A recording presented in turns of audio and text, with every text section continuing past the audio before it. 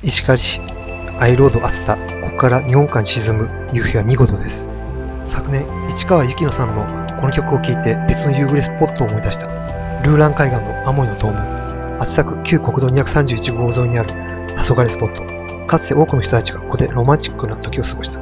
だが今は気軽に行くことはできない街道となり閉鎖された2つのトンネルの間にあるためである。昨年9月県道武戸島内トンネルに行ってみた。このトンネルの上の斜面を登っていくのは急すぎて無理だろうと。ドローンを使って旧道沿いにルーラン海岸を撮影してみた。岩山は海に大きくせり出しルーラントンネルは閉鎖されていた。ドローンで岩山を越えると陸の孤島と化した夕暮れスポットが姿を現した。アモイの洞門海ではなく国道側から見てみたいのだ。しかし険しい山地を通ってここに到達するのは容易ではない。ところが中村敦さんが山道を通ってルーラン海岸に到達する動画を発見した。道のりは道なき山の中を突き進む。ハードなものだった。中村さんは動画の最後に洞門からの夕日が見たいと述べていた。中村さんのチャレンジに感動した私は同じくゴキビル山道を通ってアモの洞門へ行こうとした。地図で中村さんのルートをたどってみると山奥に入って谷に降りていく。2時間40分に及ぶ道のりだった。ゴキビルからのアプローチはもっと時間がかかりそうだった。しかし私もルーラン海岸に立ってみたいのです。ゴキビル山道安助川の入り口に行ってみましたがいきなり急斜面で始まり気持ちが慣れてしまいました。昨年撮ったルーラントンネル付近の画像を見直してみるとトラックが止まっていて伐採作業中の旗がありました。この発見から歩いてルーラントンネルまで行き岩山を登り谷に降りる最短コースが考えられました。あえて午後出発し夕暮れ時を狙いました。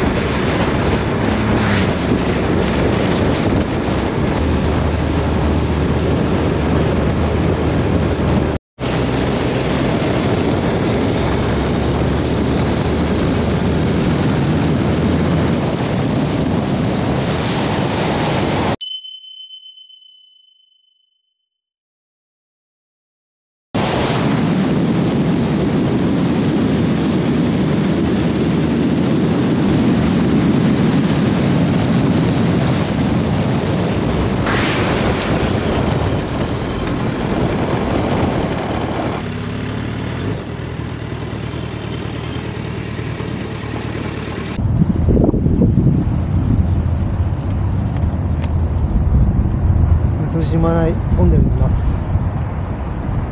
さて行ってみますか。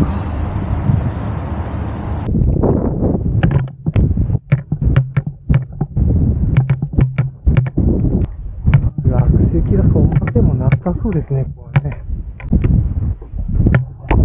おお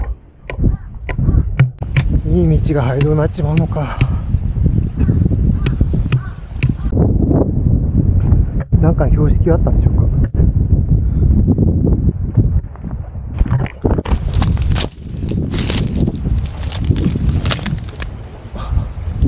責任を負わないと書いてあった。キラキラ輝いて綺麗ですな。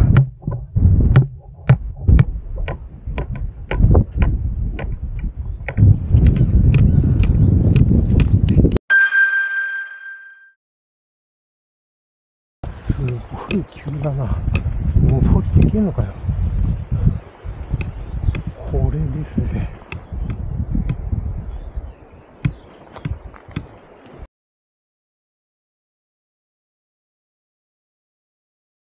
な一応この海岸から行けるんじゃないかっていう。まあ、その想定はちょっと無理ですね。まあ、ずぶ濡れになるんだったら私も、岩礁だらけだし、ちょっと無理ですね、これはですね。アモイの洞門とかですね。えー、義経の涙岩、岩山が邪魔して見えないっていう。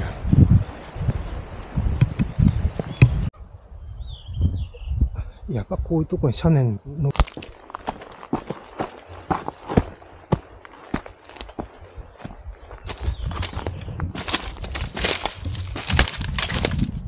道がありますね。このイエローコーンが。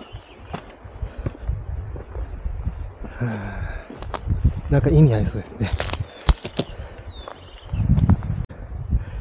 えー、まあ、果たしてこれは獣道か、人が歩いた道か、多分答えは両方とも合ってるってことなんだろうな。あ、あと道が、はっきりありますね。そうったらこっちにね、ロープがあったんだよね。まったく、これを最初から教えてくれよ。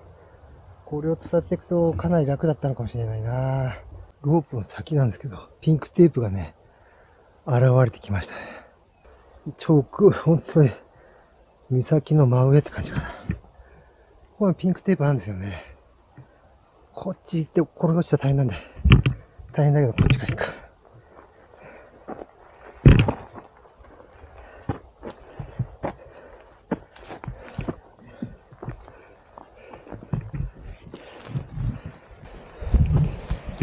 わすげえ。真上だ。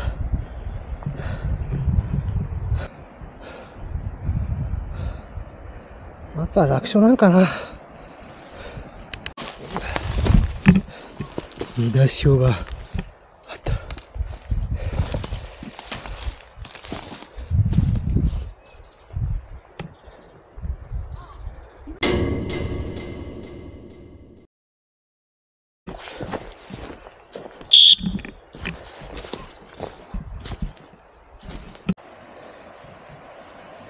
落石予防のネットがね、貼ってあって、もしかしたら簡単に降りれるのかもしれんですが、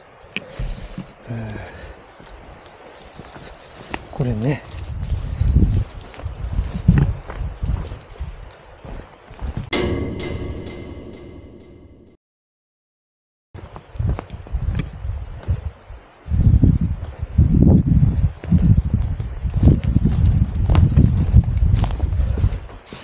もうすぐそこだね。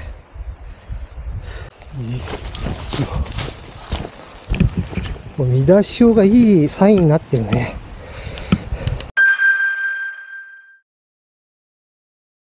ここはもう根っこをですね、掴んで降りてくって感じですね。あとちょっとなんだ。ファイト。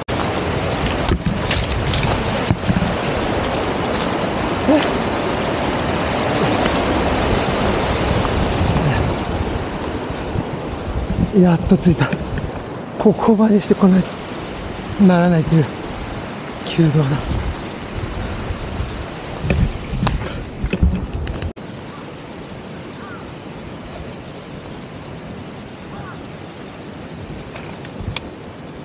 いやここに番屋が昔あったんだな。キューブと進まない。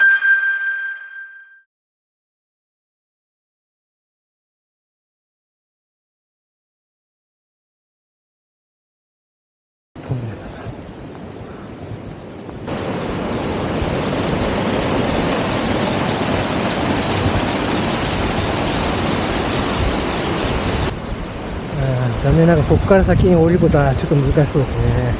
ちょ怒ったら、疲れてるんで怒ったらたたまったもんじゃないですか。とはいえ、なんか船とかも通れそうなぐらいの大きさですね。義経の涙岩も健在でしたね。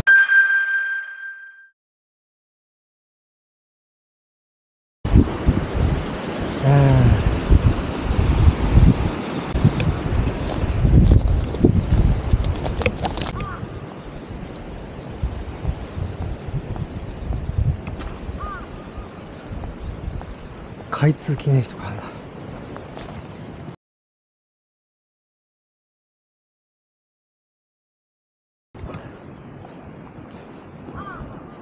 野茂さんの名前だってる。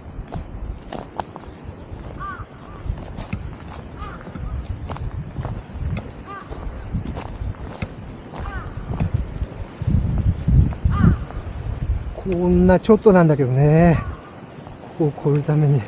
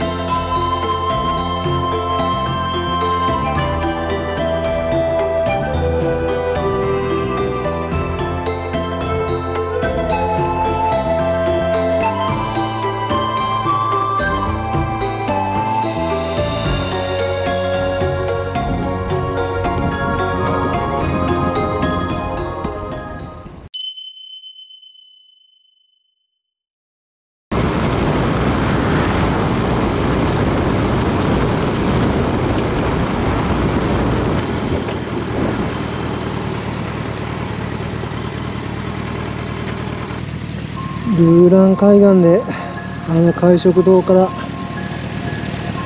夕日を見たかったな